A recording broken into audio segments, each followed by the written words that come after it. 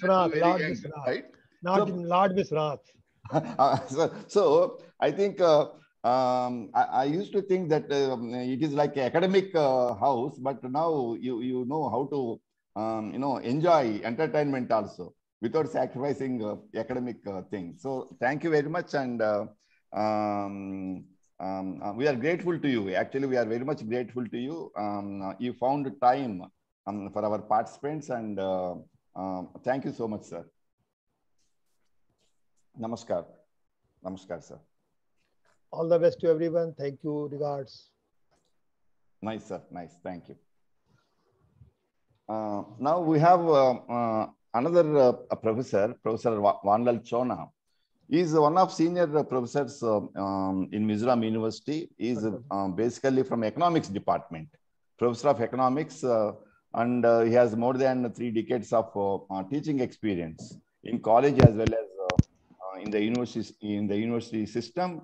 And um, he is also finance officer. He is at the helm of our university as finance officer. And for last more than last five years, so this is his sixth year as finance officer. And we all know um, in a central university, finance officer plays a key role um, in management of uh, the university. And uh, I know Professor La- Vanlalchhawna not only mm, as my colleague in our school, I know him uh, for the last uh, um, uh, uh, 17 to 18 years as a humble human being. And um, I know he did his PhD in the area of um, financing of higher education. And now he is a practitioner as finance officer um, in a central university. So aptfully selected a topic on uh, financing of higher education. That is very much a aptful topic. And in an in entire our uh, two-week program, I think no other resource person uh, has chosen this particular subject. And being important stakeholders in higher education system, and you and I need to learn certain um, financial aspects of higher education because uh, um, uh, I mean, um, that is one important uh, area and uh, being uh, stakeholders, we need to learn about that. So with this brief introduction, mm, I request uh, Professor Vanlalchhawna, um, I mean, uh, uh, to start his session.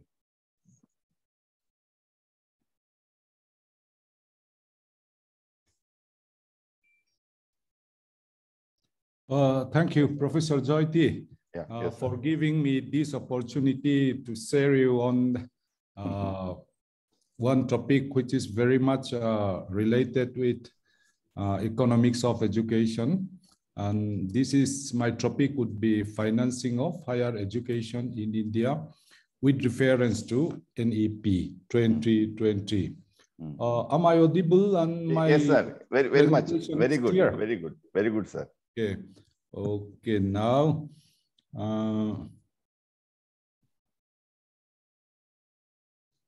Yeah, screen, screen also we are able to see. okay. Yeah. Now, uh, let me minimize. Now, on the third introductory portion, what I like to share with the uh, participant is higher education is provided both by private and public sector.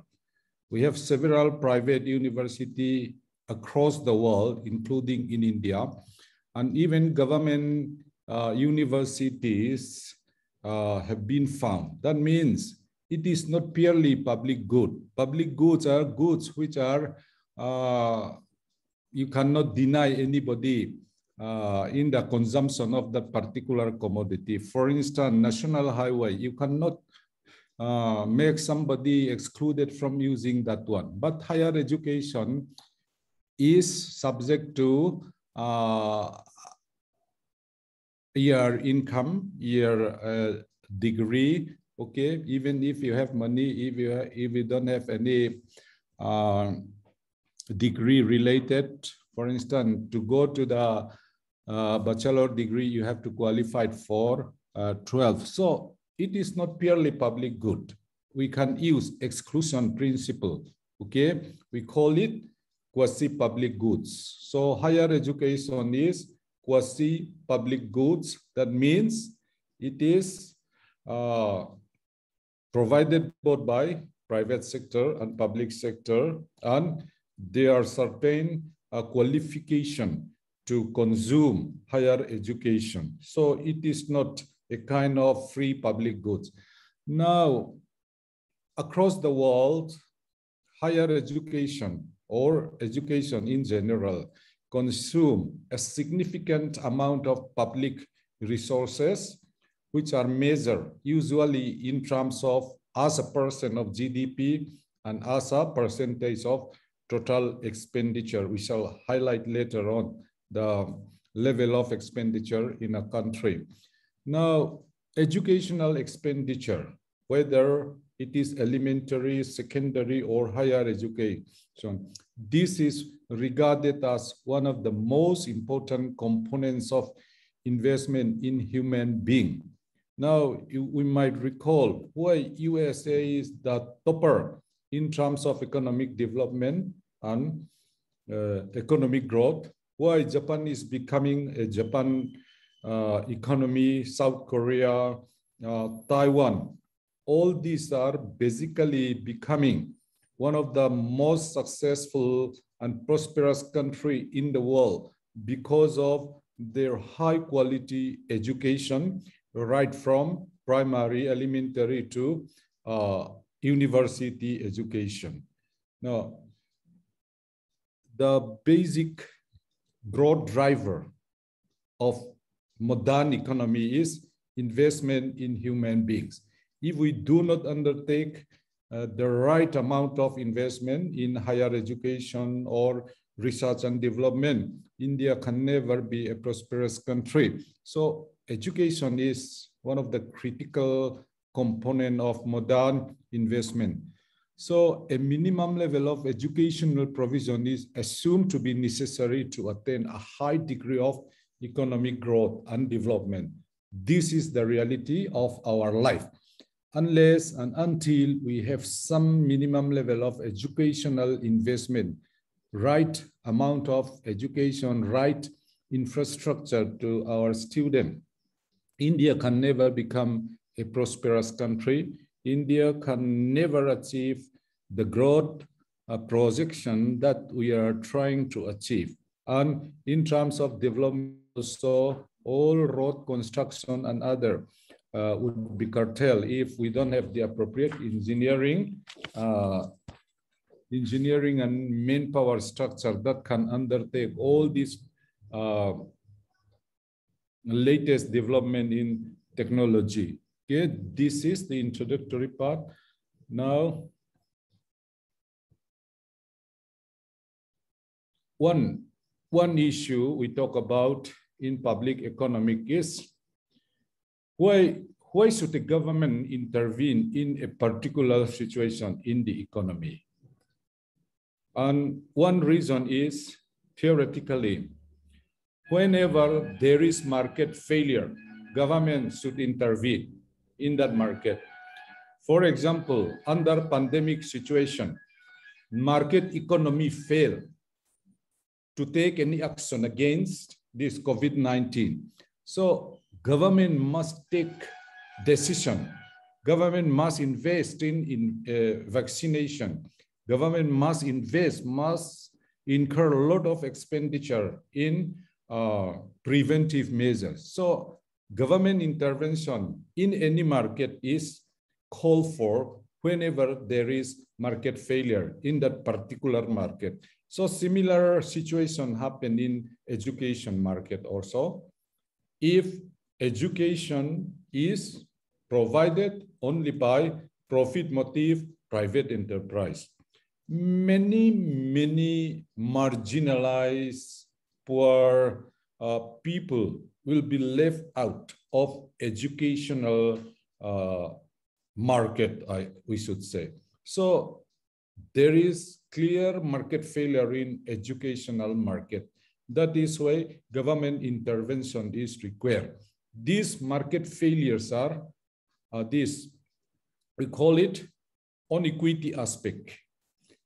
So if private enterprise provide education right from elementary to university education, several marginal groups will be left out from educational, uh, accessing educational facilities. So on equity, to provide equal access to all people, regardless of caste, educational background, economic status, socio-economic uh, affiliation. So on equity ground, there is uh, justification for government intervention in educational market. Then another is externality. There is positive and negative externality. Now, in terms of education, the positive externalities outweigh negative externality because this day, women education. Women education is directly related with their fertility rate. During the 1970s and the 18s, direct intervention in family planning took place in India uh, on the basis of uh, planning agenda, on the basis of uh, planning commission agenda. They were forced in some occasion to sterilization, women, men, all this. But we don't have uh, the result, which is a desirable results. Now there is one thing that is related with women education and women fertility. The higher women education, the less is women fertility rate. So there is a negative relationship between women education and family size. This is the benefit, indirect benefit, what we call positive ex externalities of uh, education. So, so many uh, externality benefits which cannot be counted, which cannot be quantified in monetary terms. So it is always, we say, the direct benefit, the direct benefit in terms of my income outweighed my indirect benefit in terms of my better behavior, my being educated. I am now can take place as a uh, citizen. You can become a, member of your church, for instance, in Mizoram. You can be a good leader in NGO. So as educated, we have several uh, externalities that are utilized by the community. This is one reason why government intervene in the market. The private profit gained by the individual is very much less than the social benefit we gain from higher education or whatever level of education. So this is the idea. Another market failure in education market is capital market imperfection. Education market is highly imperfect. That means the future income is uncertain. No banker, unless you have a good security, will give any loans to any individual. Same is the future of any individual, regardless of their education, is very uncertain. Education investment uh, is uh, what you call uh, require long gestation period, and whether in the age of uh, unemployment, whether the concerned student will really get any uh, good job in the market, whether he will be able to repay his loans. It is very uncertain the future market for any individual in terms of employment is very, very uncertain, very risky. So that is why we cannot rely on, for instance, if you want to establish a good uh, car factory or any uh, factory relating to uh, any other things. So you simply cannot estimate the reality of the future. So it is unlike physical investment. Investment in human capital is not comparable to investment in uh, physical uh, asset. Then Sir, are, you- are you moving uh, the slides? Are you trying to move the, uh, we are, we are able to see only the first slide. Huh? Um, What do we you? are, we are able to see only, only the first slide. Um, um, uh, that is why, uh, you, uh, you are Any not able problem? to- You are not able to move these slides, next slide. No, no, no, I'm still explaining this slide. First, first only, okay, okay, okay, then okay, please carry on. Yeah, so carry I am explaining equity, I'm explaining Yes, yes, yes, yes. I am explaining market imperfection. Now I am coming to information asymmetry. Okay? Wonderful, wonderful, wonderful. Yeah, Yes, yes, so don't be in a hurry. yeah, yeah. yeah. Ah, We are I, am- I was to- thinking there may be some technical problem in uh, movement. Oh, uh, Okay, don't, I okay, see, I okay, see. okay. So Please, now, please continue. the fourth reason why there is market failure in educational market is market, I mean, the market information in educational uh, sector is highly imperfect. There are a lot of cheating. There are a lot of uh, um, advertisement. Okay, one party has more of better information the others. Teachers are cheating their student. Teachers are not performing, but the student might not know. So uh, a poorly delivered lectures, sometimes due to pure ignorance, may not be able to judge, assess by the student whether the teacher is performing well or not. Or at the management level also, the management may try to cheat, the teachers may try to provide wrong information. So this kind of issues are there. That is why government intervention in educational market is very important.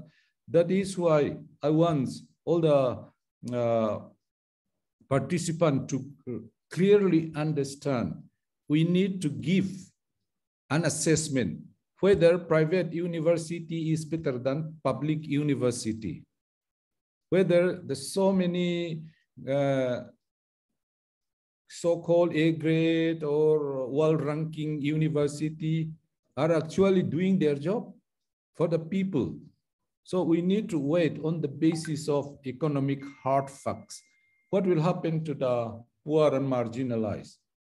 What will happen if only the rich and the well-off society have access to education? Okay, all these need to be considered while evaluating private university versus public uh, university. This is one of the starting point of the uh, arguments. Now, criteria of educational financing. One criteria is adequacy of the funding, whether fund is really enough, enough fund is there, whether the level of provision of educational services is adequate. So during 1960 and uh, mid 1970, 8% of GDP or GNP was deemed adequate. And in most advanced countries, sharing central budget uh, may be sufficient if at least 20% of the budgetary resources are uh, appropriated for educational sector.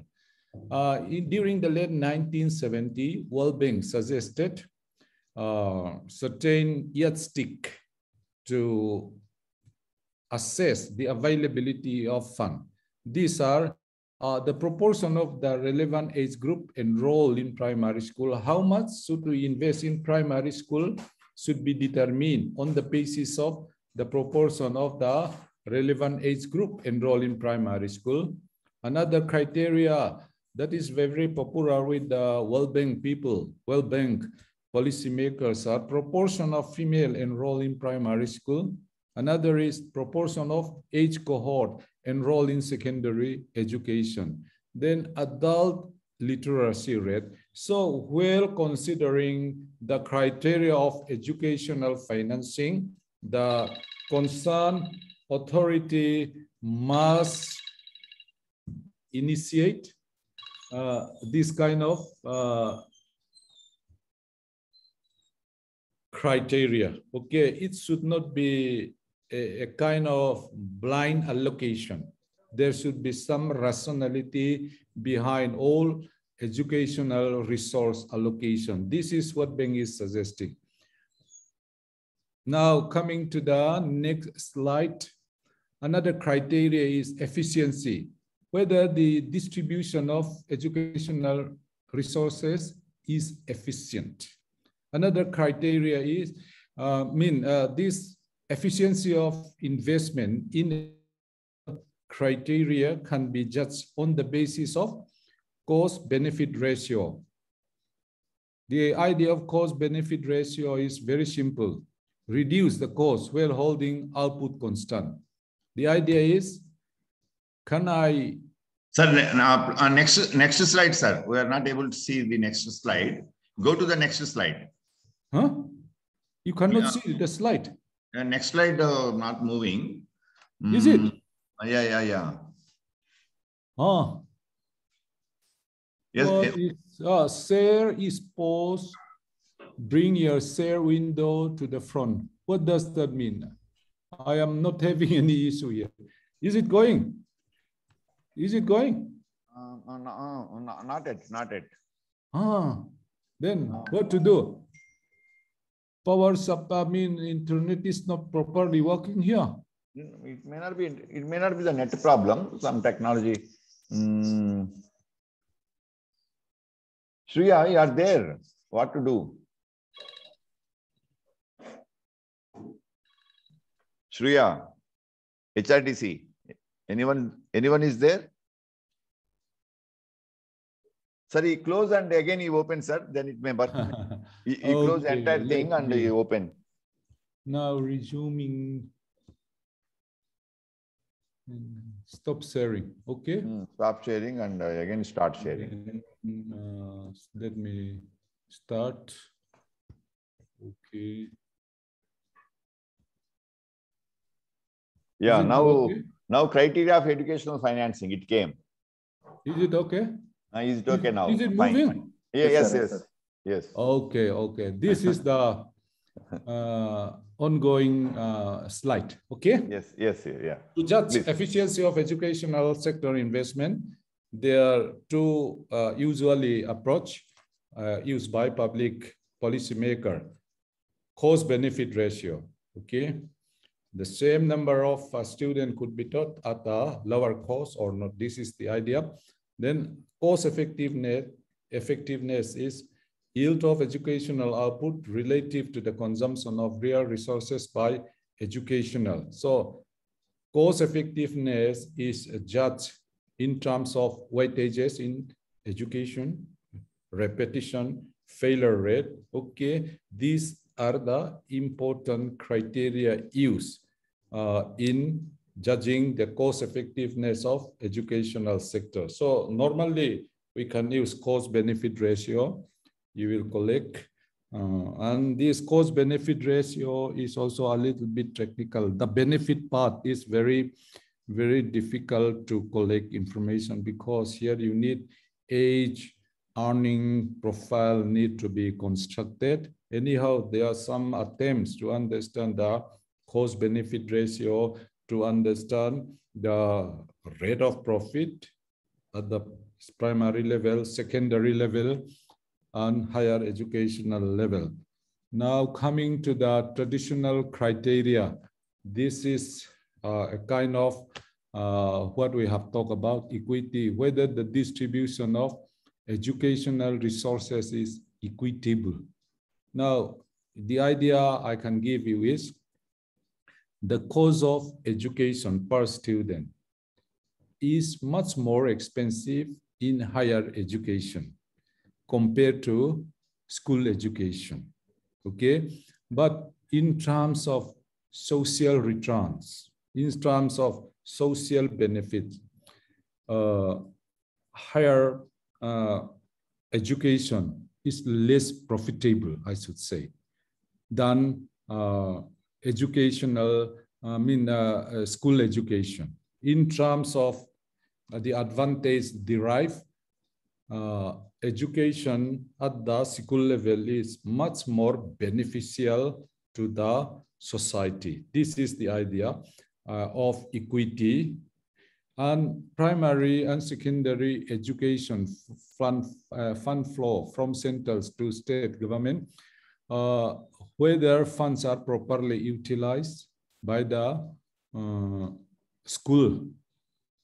And in many areas across the country, especially in northern India, school funds are not utilized properly. Uh, this is some of the findings. Several findings, Amartya Sen and his teams are doing a lot of uh, research on this issue. Now, these are uh, inversely the fundability of the school education, expansion of new program is also related with the fiscal capacity of the concerned government.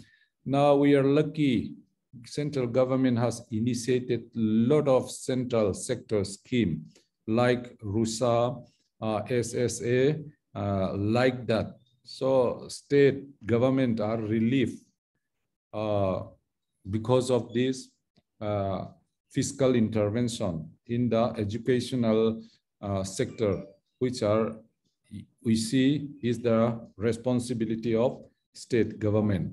Now, Grants is another mechanism given uh, to higher and post-secondary education.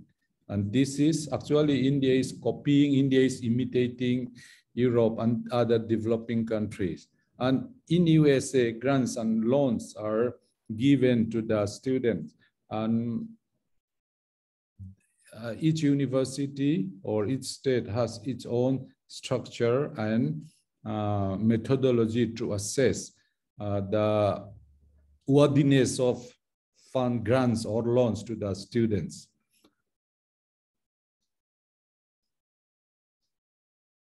Now, in India, uh, sources of educational financing, finance, uh, in India, higher education is regarded as merit ones uh, we don't we don't take higher education as public uh, goods. You know, in Nordic country, Denmark, Sweden, and other country, higher education is regarded as uh, public goods, not merit ones. Uh, it is so totally financed by the uh, in Nordic country. It is totally financed by uh, the state. But in India, it's not like that. It is a mixed financing. This is our common features in many of the uh, non-communist country. The state as well as private sector invests in education. And in the context of India, central government funded many of the uh, national level, uh, nationally regarded uh, higher institutions, very, which are essential for uh, the country as a whole. We have this IIM, IIT, NIT, AIIMS, and others. These are uh, directly funded by government. And as we have already mentioned, government initiated several centrally sponsored schemes to support state government. And state government, out of its own budgetary allocation, that is uh, from taxpayers' money, they are now providing higher education.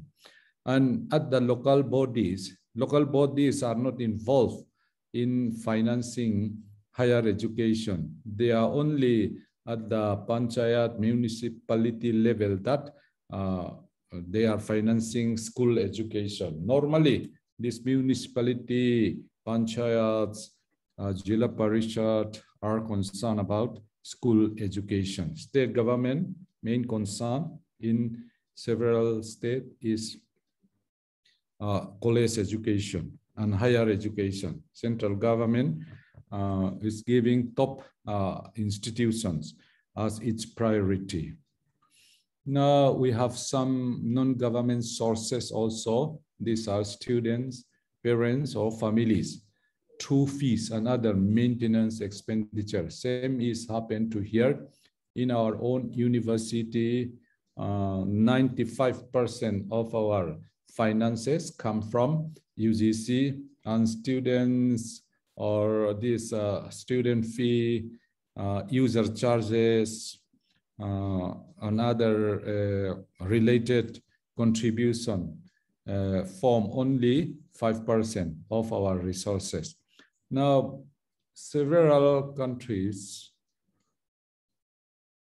they have uh, these philanthropists uh, who donated lots of money uh, in their uh, endowments or just simply straight away donate to the university uh, for those who need fee subsidy. This is what is at the pandemic moment also several writers, several uh, education uh, experts are suggesting that this is the time community, especially the billionaires, millionaires, and those who have resources, this is the time to donate for education. Now, if you look at the latest, uh, uh, some of the meetings at the highest level uh, at the international, several people are raising this kind of concern. Now, some of the main features now we will be talking. Uh, how long should I go? Uh, up to 12.30, uh, Pujoiti? Actually, your session is up to one o'clock. It's up to you. I mean, um, you're free to go up to one o'clock also, no problem. But last 15 minutes, uh, better we have some interaction. There may be some questions. okay, I'll try up to 12.30. Okay. Yeah, yeah, no, yeah, no problem. Yeah, mm. yeah. Now, coming to the features of educational finances in India, we have seen the dominance of state finances, the share of government, central and state it has increased significantly over the years. Now, uh, central government and state government, uh, instead of uh, providing uh, more university by state government or central government, they are creating environment whereby even um, private uh, university, highly technical one, could manage themselves. So the policy perspective has been change, changing. Uh, this is what happened across the country. Every day, new university are created in the uh, private sector.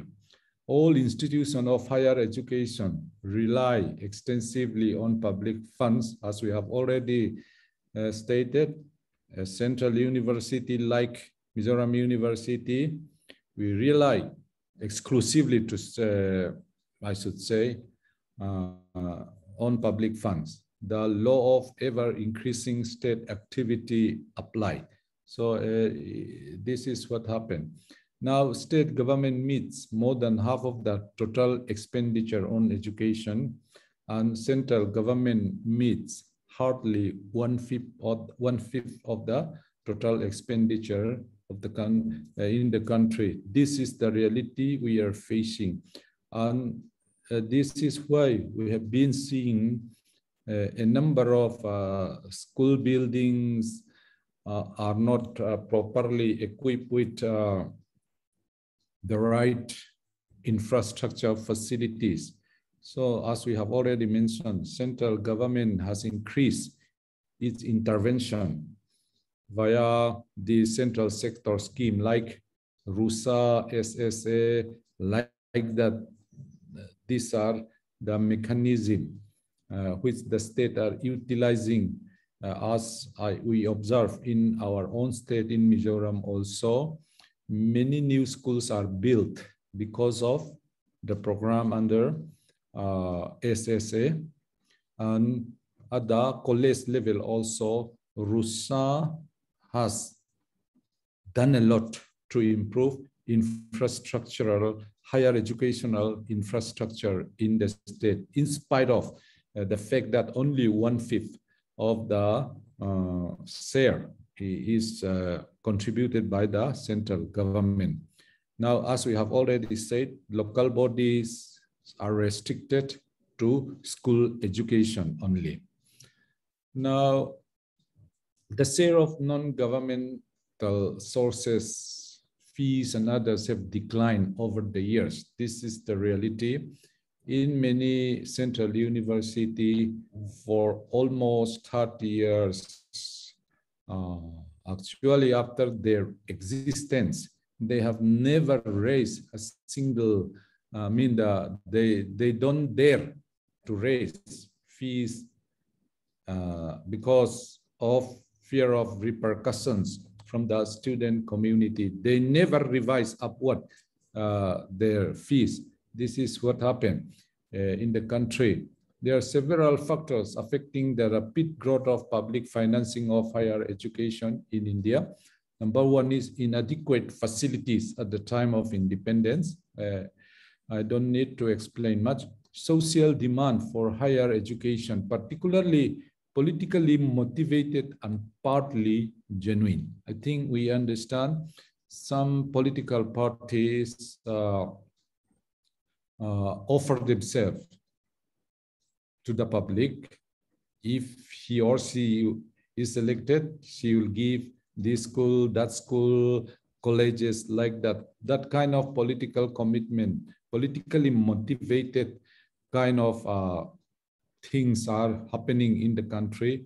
And because of the real need of society also, real social demand are emerging uh, in the country. So the demand for higher education is uh, now increasing. Yes, politically correct decision is to provide more and more better facilities to higher education. And it is the public uh, who need, who utilize that resources. As we have mentioned, until and unless uh, our educational needs are satisfied, India could never have a consistently growing economy unless our manpower are equipped with the right skill, which are relevant in the modern technology driven world. We will never compete with other countries. We will never uh, get any productivity enhancing uh, activities. So large scale skill manpower requirement under plan has also increased and this day skill development is now a part of government policy. Government policy towards equality in educational opportunity leading to massive investment in higher education. So uh, education, primary uh, uh, education is now one of the basic rights. So everybody uh, must attend school education. So there is a push factor from below after this right to education uh, act was passed. Now, the rapid growth of primary and secondary education naturally pushed the demand for higher education. So rapid population growth pushed the demand for primary and secondary education and increasing rapid growth in primary and secondary education naturally pushed the demand for higher education.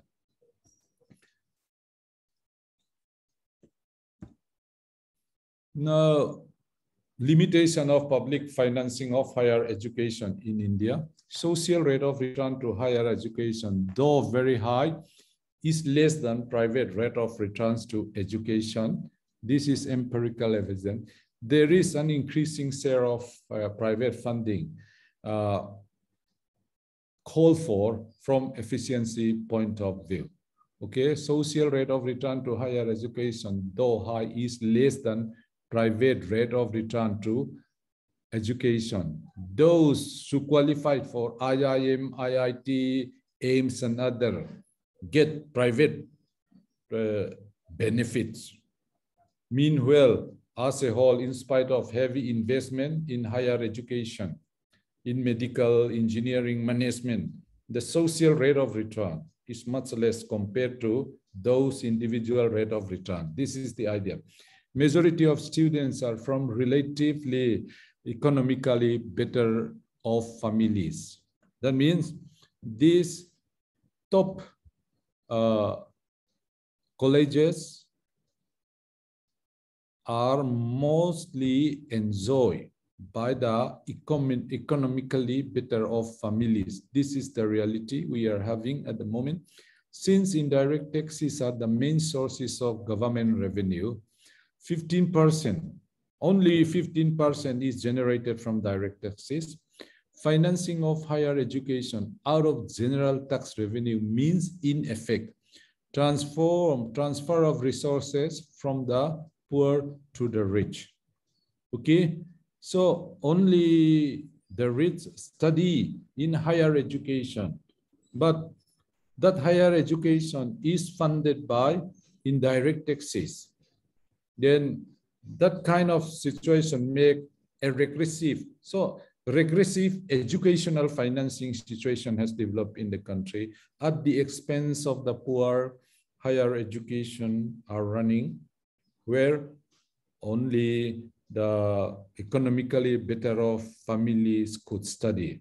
So now the reality that has come to the public is to what extent higher education should be subsidized at the expense of elementary education? This is an important question in the financing of higher education. Now, since 1990, state funding to education in general and higher education in particular has been declining, okay? Private institutions, particularly in areas of management, engineering, medicine, computers, etc., have been coming up in large numbers, raising issues of access, equity, quality, and regulation. And now foreign educational institutions are coming, making the system more complex. Now, what is happening at the moment is internationalization of higher education, privatization of higher education, and at the same time, massification of higher education in the country because of uh, the push, push factor, uh, which is caused by population increase and the uh, secondary school leavers are also increasing after uh, this uh, right to education act. All these factors has uh, a multi uh, huge impact on higher education situation. Now, what we are witnessing is internationalization of higher education, and this is one issue uh, suggested by NEP 2020 also. Now, privatization of higher education is going on in a big way. And at the same time, so state funding is gradually declining. This is the reality we are facing at the moment. And some of the facts and figure, let me try to quote real growth rate on higher education falling. It was 7.5% in 1950, 11% in 1960, 3.4% in 1970s, a bit improved to 7.3% in 1980, and 5.4% in 1990. Now, per student expenditure in constant terms declined by minus 1.5% during the 90s. The proportion of scholarship in the public expenditure of states on higher education declined consistently over the 1990s. So actually that 1990s is one important benchmark in Indian economy because of that big crisis we had. And right from 1990 onwards, liberalization process going on.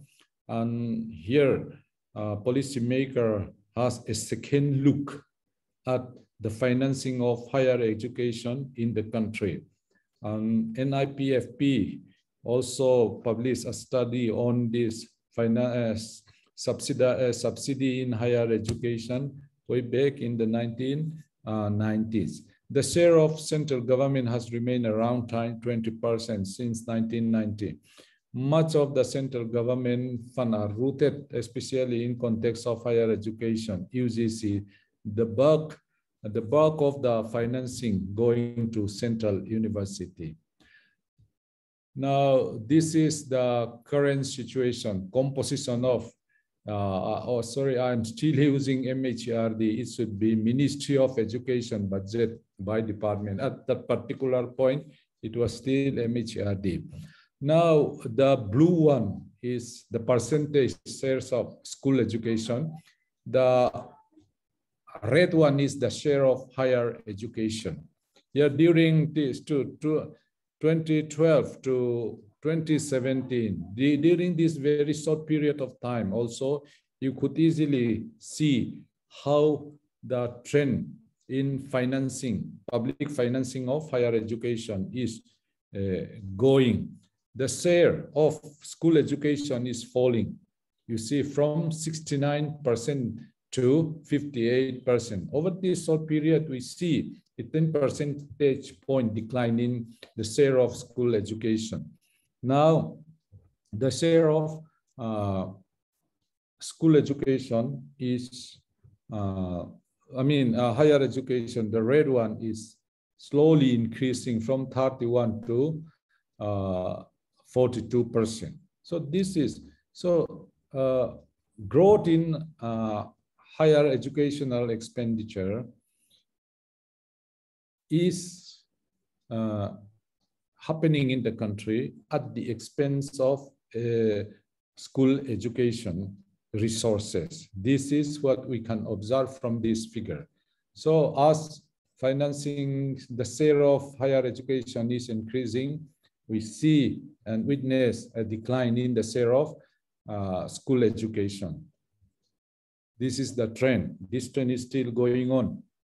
Now, some of the proposition, recommendation made by Education uh, Commission, this uh, Kothari Commission was suggesting 6% of GNP to education must be allocated. Oh, by 1986, till now, this is an elusive dream to achieve this one.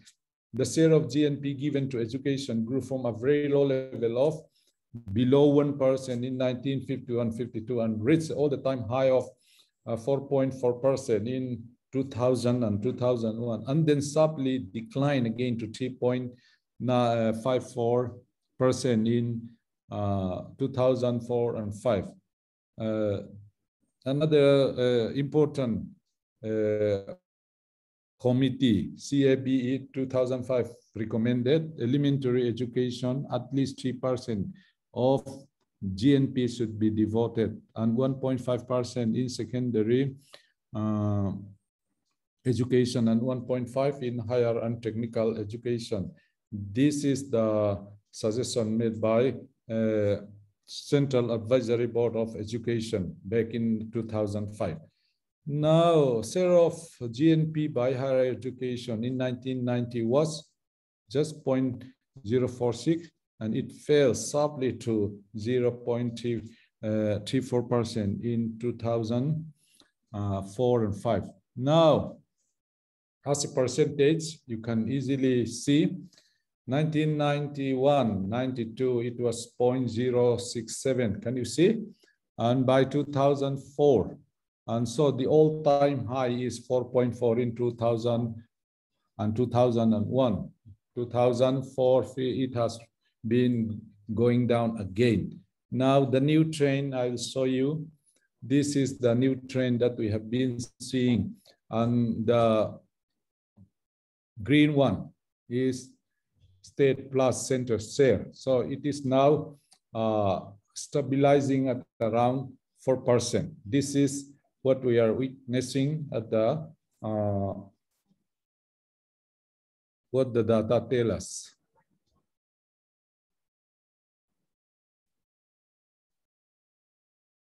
Uh, this is actually not higher education, it is education, all education, okay? Uh, I made a mistake here. We take it as education as such. Now, not higher education. Now, coming to how to mobilize resources for higher education, there are several uh, mechanisms that has been tried after some time passed.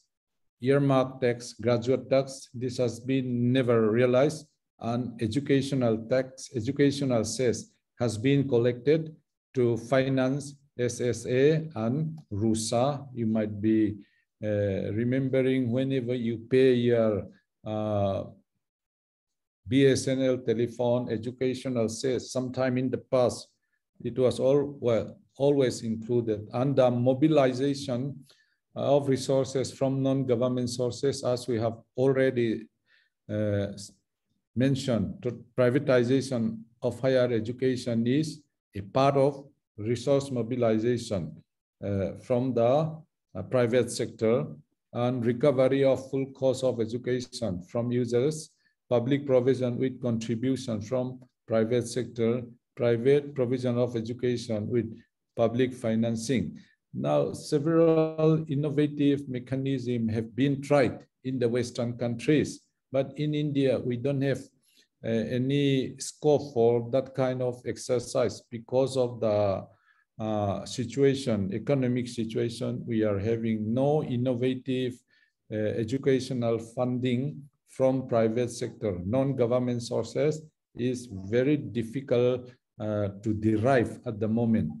Now, a graduate tax is, we have already said, uh, there are justification for that. In spite of that, it is very difficult to uh, implement. A graduate tax is an education-specific tax to be levied from those who use the educated manpower. Rational uh, employers should save the cost of the production of high-skilled manpower. So it's uh, between the employer and the tax authority. Interest on physical capital, so it's interest on human capital. Same thing. Uh, the idea is when we use physical capital like money, you borrow money to purchase um, machine, you are paying interest. So human capital also uh, be charged interest uh, by the user of that particular skill, that human capital. Okay, this this incentive to employer substitution of cheaper graduates. So theoretically, there are a lot of argument uh, supporting and, and against that particular idea. Educational cess 3% of service tax, mobiles, higher education cess 1% from landline. These are uh, some of those we, we used to experience sometimes past. Now it has been done away. And private finances for higher education, household expenditure, I mean, household invest substantially on higher education, almost equivalent to institutional cost. Parents paid lot of money for education of our children. Fee, stationery, personal maintenance, exercise. This is also a part of the private finances. Fees are declining despite increase in income.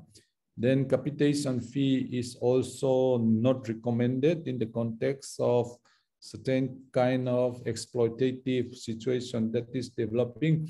Uh, discriminatory fee suggested cost of tuition, family income being the criteria the rich may be charged higher fee and the poor, uh, poverty, below poverty line family may be fully exempted. So discriminatory fee are also suggested, but they are very difficult to operate. And student loan is now emerging an important source of private financing and voluntary contribution are also there. Many uh, corporate houses in some cases uh, are providing kind of fee relief to poor students and others. Now, student loan, interest-free national loan scholarship was introduced in 1963. And yeah, 20,000 loan scholarships have been awarded every year. And these are some of the expenditure compared to what now uh, we, we don't have any clear idea about how much is uh, these nationalized banks are giving educational loan to the students, we don't have any idea. But these are some of the uh, data that we can obtain in regard to these things. Uh, uh, bank ways, we may, it may be available, but today I'm not, uh, I cannot give you all the relevant information. And one of the, as we have said, the credit market for educational loan in India is highly imperfect. Okay, this is highly imperfect. And the poor does not have any access at all to this credit market for educational loan.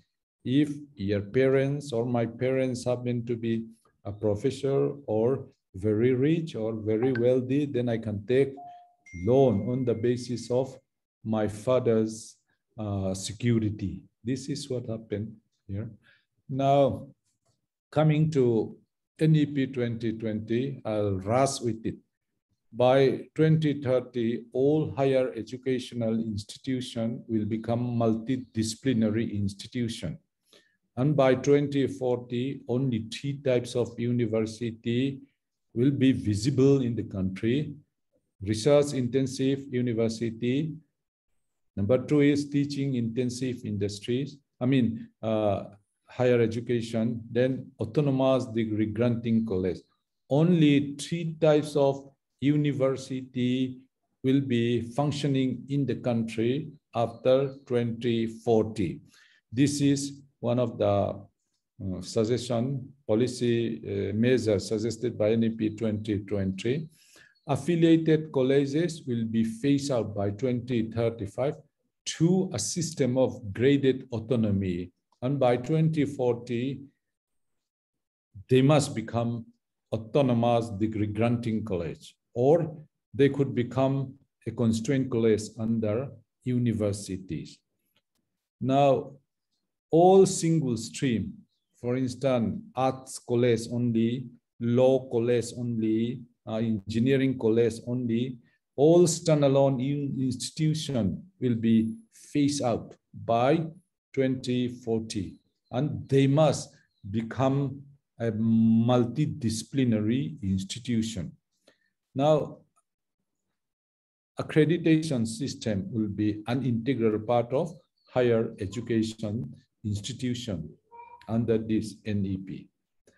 Now, degree program becomes three or four duration with multiple exit options and appropriate certification certificate after one year, including vocational and professional areas, diploma after two years and bachelor degree after three years, and four years is with research or honor degree.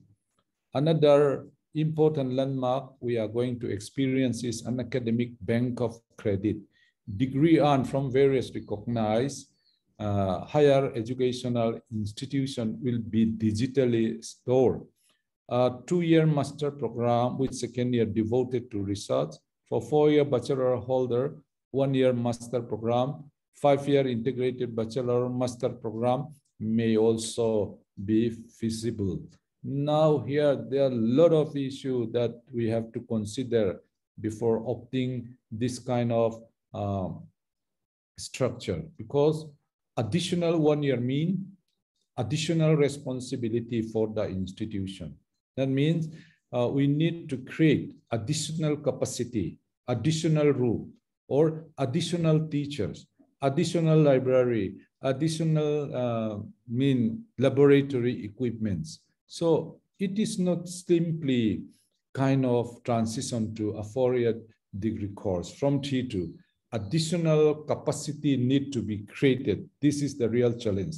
Or now another idea, vocationalization has been uh, emphasized very much, but who will teach these vocational uh, studies? You are, if the student opted for uh, a highly technical paper, then if that is not available, if teaching, if teachers are not available, what will happen to the student concerned? So there are many areas where we need to define the direction we are planning to go ahead with uh, this kind of uh, NEP 20 policy measures. Now, moving away from high-stake examination towards more continuous and comprehensive evaluation. This is a very good suggestion.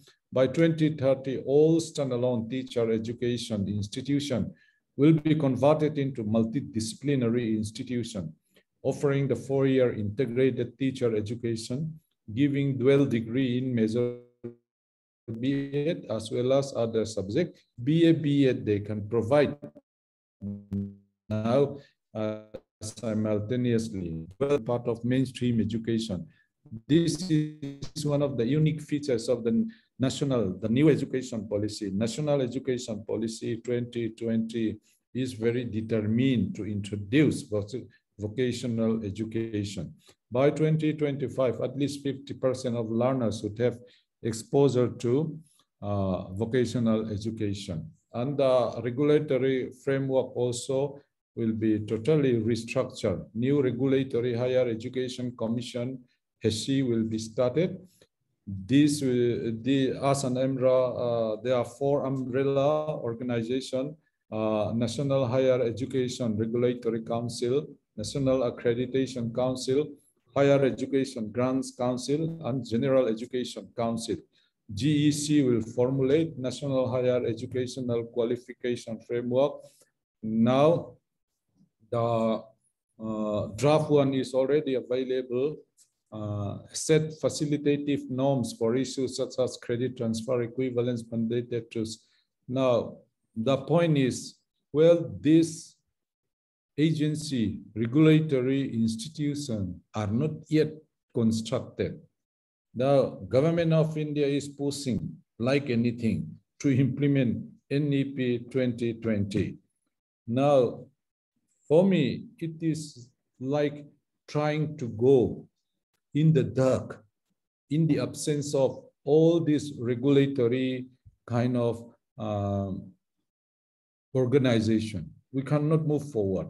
It is very difficult. Now, even vocational education also, the policy suggested to work with uh, sector skill council now Sector Skill Council is not yet ready to work with this kind of college courses. They have their own structure right now. So we, they need to modify themselves also.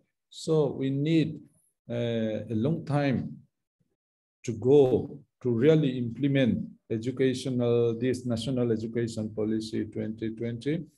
Now, the, there is one commitment in regard to financing of higher education. The NEP committed to raise educational investment to 6% of GDP. It observed there is no better investment towards a society's future than the high quality education of our young people. Okay, education policy 1968, the first one. This is after Kothari Commission 1966. This is the first one. Then a new one comes 1986 at the time of Prime Minister Rajiv Gandhi. Then this was modified in 1992. All these policy document recommended 6% of GDP. This magic figure could never reach in India, I don't know. Now, uh, presently, central and state expenditure on education has been around 4.3% of GDP and accounted for 10% of total government expenditure. Now, the long-term trust areas of, for financing of education as formulated by NEP 2020 is early childhood care education, foundational literacy and numeracy, school complex, school clusters, food and nutrition, teacher education, and continuing professional development of teachers, revamping colleges and universities to foster excellence, cultivating research, extensive of technology and online education. This is the trust area for financing of education. Then uh, the concerned agency must be able to develop fundable scheme and project in this area. This is the real challenge faced by our educational administrator at the center and the state. Now, the policy document stated that both central and state government will work together. Both central and state government will work together to increase the public investment in education sector to reach 6% of GDP. Now, most Indian states are expecting to increase central government their support to education sector. Now, the document said both central and state government will work together to increase public investment. So it is now the joint responsibility of central and state government to reach this uh, magic figure of 6% of GDP. Here, financial support will be provided to various critical elements and components of education, such as ensuring universal access, learning resources, nutritional. So what they are suggesting, uh, these are the, some of the suggestions that we have already outlined. Now, another uh, observation made by NEP 2020 is very pertinent issue. The need is to increase efficiency in use of available budget by suitable policy changes. So whatever limited resources are available for education, the efficiency we have to increase, improve uh, the efficiency. This is very challenging. Financial governance and management will focus on the smooth, timely, and appropriate flow of funds. Okay, governance and management, these are critical issues. These are very challenging for all uh, central government organizations, including central university, state university, uh, colleges and school, even at the school level also. Now the provision of uh, general financial rule, PFMS, and just-in-time release to implementing agency will be followed by for efficient use of government resources and avoiding parking of funds. So these are some of the issues that government is already implementing uh, to different different mechanism the mechanism of performance-based funding to state higher education may be devised. Similarly, efficient mechanism will be ensured for the optimal allocation and utilization of uh, this fund earmark for EDG groups. Okay, these are some of the major uh, theme I can share with you today. Uh, should should any any question or any uh, only one? If possible, can we go on next slide? Uh, okay, nothing is there. Uh, so now, Pujoiti, your turn. Yeah, thank you very much, sir. And uh, this power failure in my place, and Mane will, Miss Mane will participant and she will take over. And really wonderful uh, um, presentation because this is very much relevant to every one of us, being main stakeholders in higher education system and being an economist and uh, as well as being a practicing finance uh, officer. Um, you touched upon many aspects of uh, higher education system. Um, and the government's role also we have touched upon and uh, um, uh, public good and uh, um, so main main issue is uh, uh, government governments want to um, escape from their responsibility of financing education, not primary and um, secondary. Then, uh, oh, your voice is clear. So, um, uh, Miss Mana, you please take over. Yes, yes, yes, yes. Please take over. Okay. Okay, sir. Uh, thank you so much uh, to uh, Professor Vanlalchhawna and our effort. And sir, um, thank you for your time. And there is only one question in that question and answer box. And so uh, if you could please uh, answer this one or uh, like at least your observation like that. Uh, the question is, is CIBIL score required for higher education loan? That is from Paramana Sivan. Uh, yeah, I don't have much idea on educational loan uh, this day, okay, because I am only concentrating on public financing this day. I don't have any much experience to share with you on educational loan. Uh, how the market is is managed. I have no idea. I'm so sorry. okay, sir. Yeah, yeah. Regarding CIBIL, CIBIL is yeah a little bit different. Yeah, uh, there may be some effect. Yeah. Anyway, uh, sir, um, regarding introducing this NEP, uh, even in the university and education, uh, in the education system, like UG or PG, and then how do you think that uh, this uh, policy, is it uh, uh like what to say, um, will it be better than the previous one? How do you observe? I just want to know your opinion. Regarding? Uh, this NEP, NEP, yeah, new education policy, yeah. Ah. How do, uh, what is your opinion? This is a good policy document but it requires commitment on the part of mm-hmm. government of India to really implement, okay, mm. uh, all the, and so uh, without any commitment to uh, funding, uh, yes. it would not really work out. That is my point. Maybe. So Maybe. the thing, very little is written about how funding will be committed to the uh, educational sector development in the country. Mm. We all know our education system is uh, on the brink of collapse, especially mm our uh, primary education, secondary education in many rural areas. They are not performing, okay? And only few uh, nationally uh, recognized institutes on NIT, IIT, IIM, and some other uh, institutions, they are given fund as per their requirement.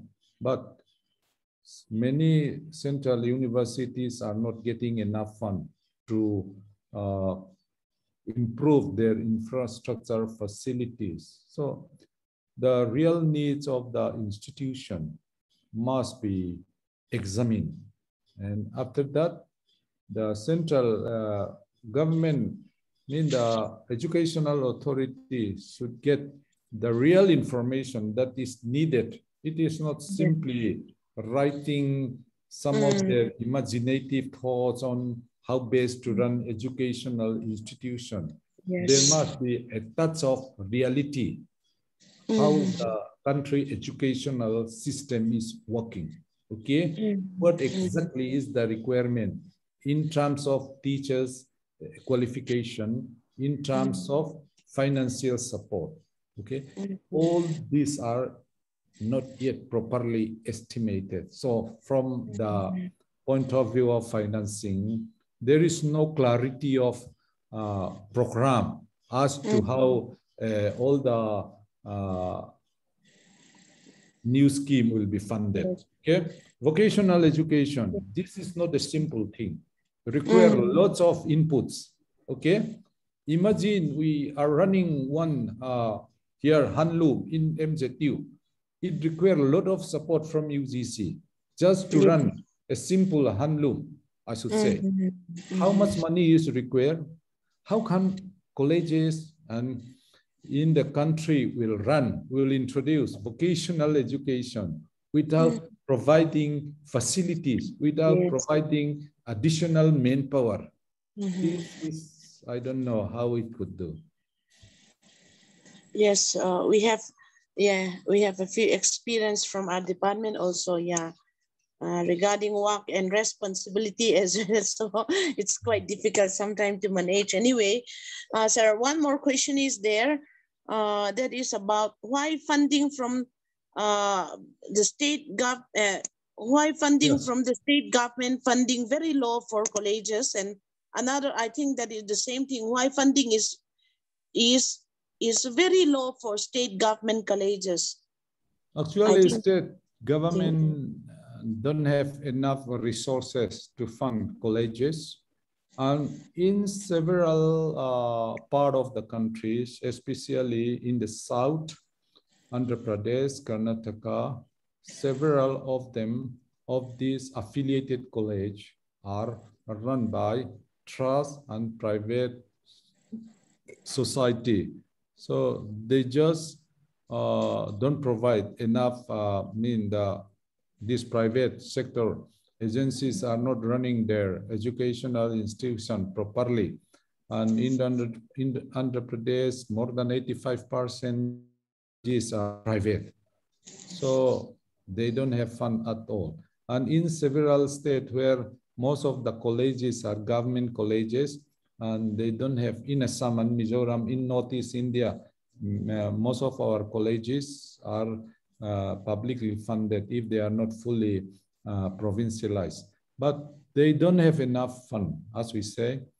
College and education require a lot of money and they don't employ, uh, no, you see, uh, not uh, as per UGC stipulation, they are engaging guest faculty, contract teachers, uh, this and that. So mm. security of tenure is not guaranteed in several uh, higher education. So it is more or less like a, a poorly funded private primary school. They're running like that. So state government, even if they want, there is no incentive for uh, running, for providing fund to the state because the system is already in a bad shape and just putting more money at this point of time will not help improve the situation because at the state level, many of the colleges are the responsibility of the state government they, the state government themselves also need a relook at the situation in the country. And simply the NEP 2020 suggested affiliated colleges will be phased out by 2035 and they should become multi-disciplinary uh, institution 2040. Will that really happen? What are the guidelines? What are the uh, yardstick they are going to use? Who is going to give them? If you are working, for instance, in a college, who will give you the guidance to reach that particular stage?